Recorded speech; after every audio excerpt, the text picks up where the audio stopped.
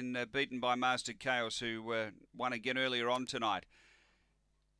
We're just about right. Light on, set to go. Third heat of the Shane McQueen. 250 Love Made Me, 270 for Come Home. Ready.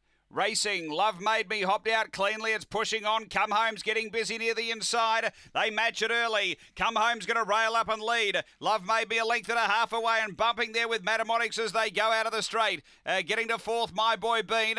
Uh, three away, Dinah Allison. Last of all, Max Jake down past the 700 boxes. And it's Come Home away by six. Doing the chasing, Love Made Me. Then My Boy Bean behind those, Dinah Alice. Then Max Jake and Mathematics. But up to the turn, Come Home straight in the leader. Love made me try to reel back the margin, but the lead was important, and Come Home was able to do it all the way. Come Home first, Love made me second, My Boy Bean third, and then Max Jake. Next is Dinah Alice. And Mathematics back at the tail end. Time here is around 35 seconds, in fact, 35 flat. After race number six, come home. He, he didn't actually uh, box 100% cleanly. It was the muster soon after box rise that allowed him to uh, zip through in the rail, of course and uh, has been too good over Love Made Me, who uh, she did a good job to peel off some ground. And eight, My Boy Bean was back in third spot. Numbers are two, five, eight, four runs fourth. Uh,